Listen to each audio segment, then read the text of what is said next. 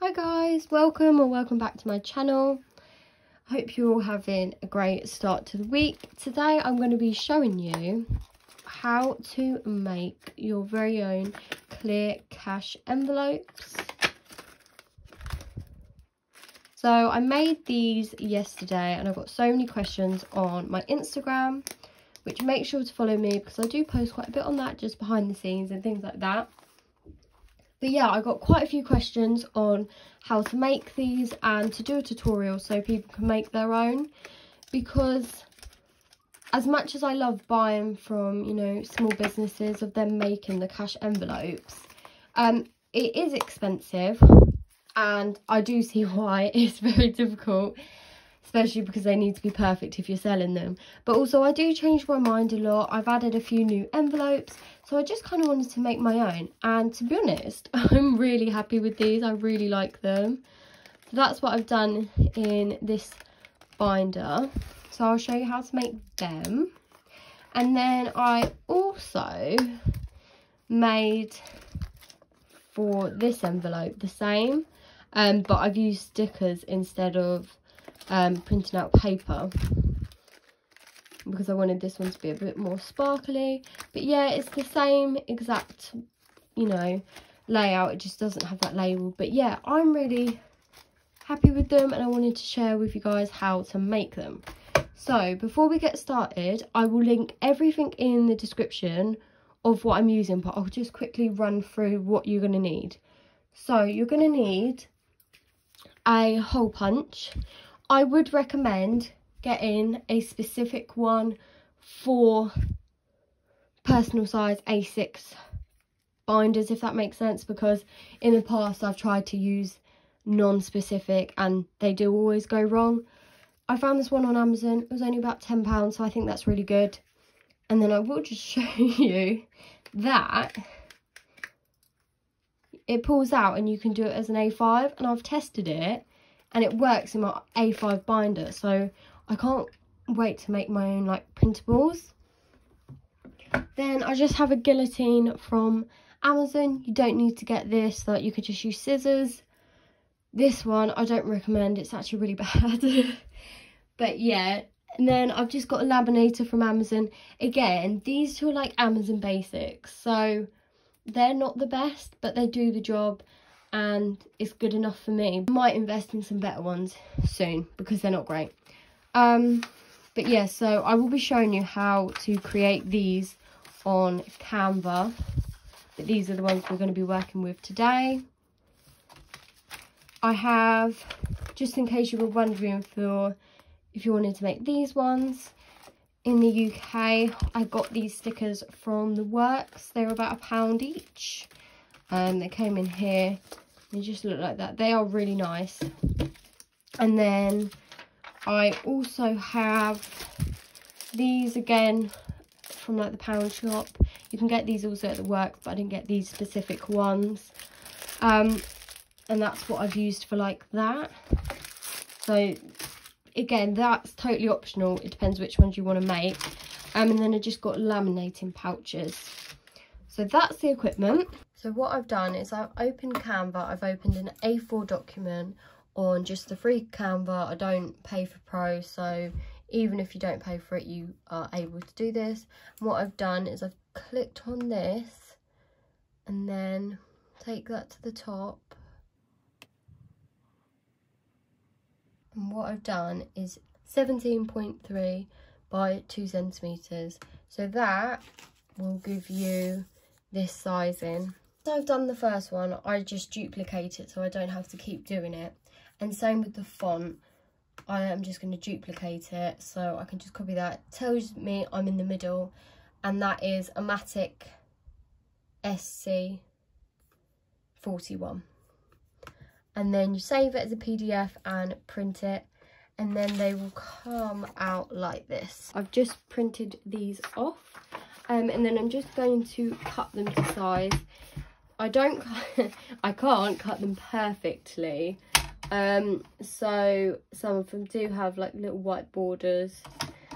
And like I said, my guillotine, oh, it's done its job for the camera, it's done good. Usually it's not very good. Um, it knows when to, you know, when to show up and do the most. So yeah, so we've cut this. So I'm just to make three.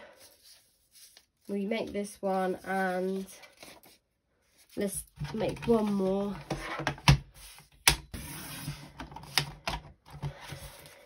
Maybe it's the user that's wrong with the guillotine. And now I've learned how to use it. I don't know. Um, what was I saying? I get so sidetracked. Like, I when I edit my videos, I just think, like, you need to stop chatting because you then don't remember what you're actually doing and then make mistakes. But then at the same time, I don't know about you guys, but like, I quite like chatty videos. I don't like it when they're not. I think it's a bit boring. Um, but anyway, see exactly back to actually where I'm meant to be. so I've cut out three, obviously just cut all of them out if you're doing a whole row. And then you can fit three in per one A4 laminating pouch. So that's why I'm going to be doing three. So what you want to do, this is what I do and I am no expert, so I wouldn't take my word exactly. Do what works best for you.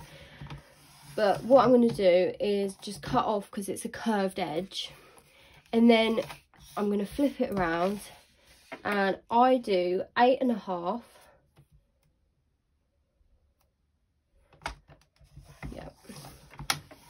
Eight and a half. So I'm going to do all of those.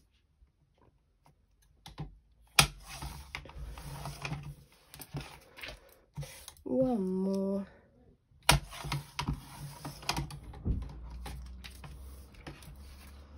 And then you've got three of these. And then I am going to pull this out and I measure it at 17 centimetres so it will look like that so I'm just going to put that to the side and carry on doing the other two. When I was like doing it, I um I was getting so stressed out because it kept going wrong. Um and then I went and had a pasta break. had a really nice like pasta bake and then um I came back and it went a lot better. So it does take practice and I did make a couple mistakes where I just like cut them too short and then I couldn't use them.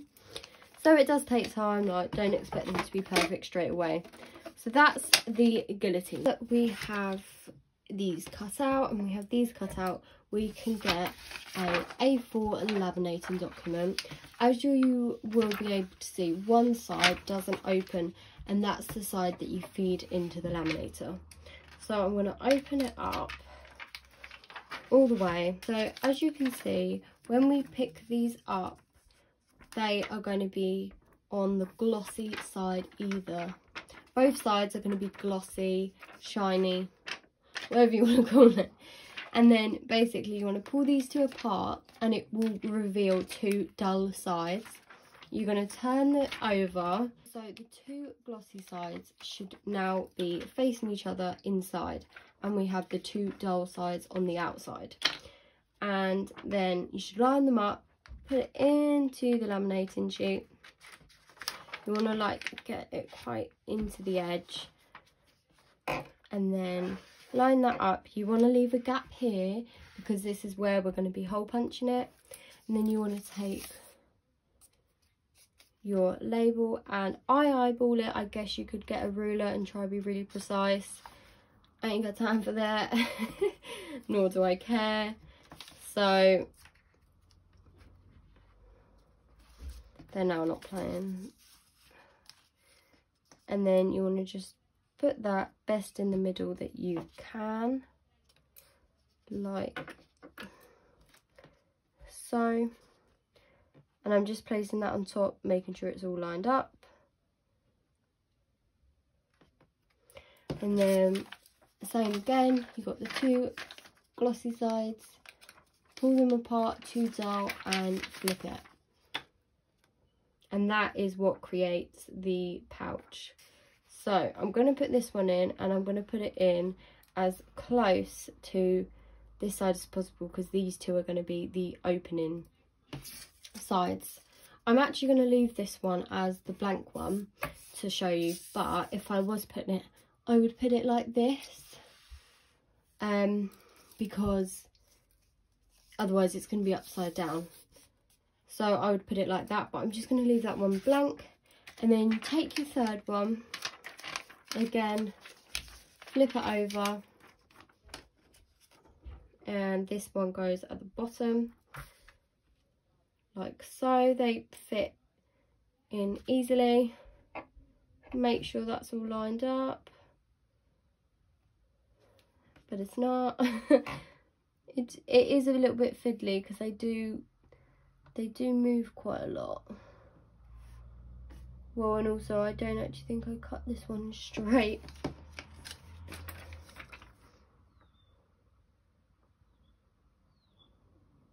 No, I didn't. Rejects, right. Good thing I've got a spare. Right, so again, flip it put it down here, you want to leave enough room here for the borders because you don't want to cut too close and then also enough for the where you are going to hole punch. So I'm just going to put that one there. So it should look like this. Make sure that's facing that way, that way and that way if they're all going to be labelled. And then you want to pull this over, move it to the side and turn on your laminator. So I've turned my laminator on and just if you do have this one at home or you are interested in getting this one, I put it to 125. I don't actually even know what it means, but I just remember reading to do it at that. Um, so I'm just waiting for it to go green and then I'm going to feed this through. So I'm going to take this and feed it in, making sure that I'm feeding in from the closed side.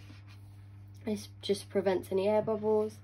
So I'm just going to slowly feed this in because they do move. So they can easily like become all the wrong shape. It's happened to me the first few times. So that's just feeding in.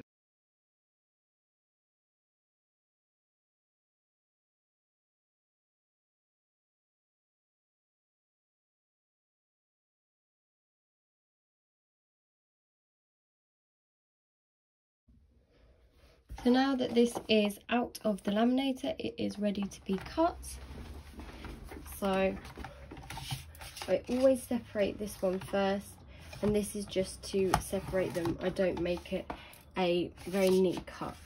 So what I'm going to do is open the pouch first and you are going to need to trim a bit and then that just opens up the pouch like that and then you just want to go around the borders. Trimming it. I don't leave a massive gap but obviously you don't want to go too close because otherwise it can undo. So that's what it looks like. With um, this I I do eyeball it quite a bit but what I tend to do is go to either like the 10 between 10 and nine and a half. And that's given me a border of that. So that is this envelope all done. And then for the clear one it's pretty much the same. You want to gonna wanna wanna wanna wanna wanna wanna go close to the top. That needs a little bit more off. And then that is an open pouch. Then you just want to do the same on the sides.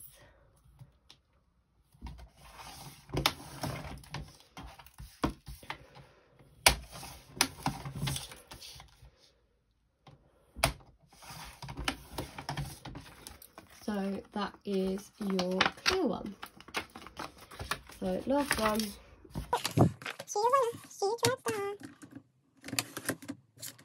And obviously you can do whatever border you like. I know some people like them thick, some people don't. So that's another good thing about these. It's just all personal preference. So now we have our envelopes. So I'm back with the envelopes and I'm going to be using the hole punch. And what you need to do, if you have this one, I'm not sure about other ones, but you just pull it out ever so slightly till that line that says personal. And then what you want to what you want to do is you slot this in like so. They're not always going to be perfect, but push that to the edge and I don't even know if that was in focus. Can you see that? But yeah, so it's got the holes in now. So I'm going to do that with all of these.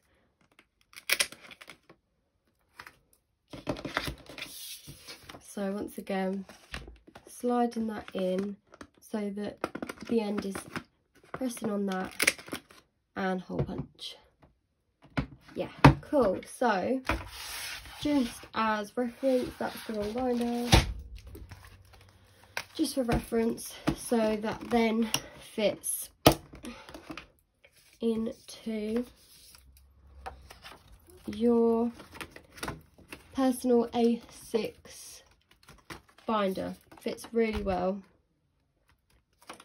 like so. So that is that. And then for these ones that were the clear ones, which I have made one clear, I would just use these stickers. They just come off like that and I would put them there like so. I don't need another one so I'm not going to do it but that is what it would look like and this is what it would look like with money. So they are clear on the back and then the writing on the front. So yeah. These are the final envelopes. I really hope you enjoyed this video and found it useful. I know I got quite a few requests on Instagram to do it, so I definitely just wanted to share it because I don't think I've seen one um, and that made them, oops, look like this. And I do really like the look of it. I hope you enjoy and I will see you in my next video.